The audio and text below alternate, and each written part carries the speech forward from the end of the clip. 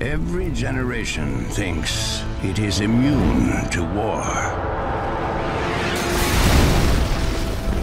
Every generation is as foolish and arrogant as the last. Humans are merely an audience to a chaos that predates their existence. They bear witness to a conflict so ferocious, it has the potential to destroy us all.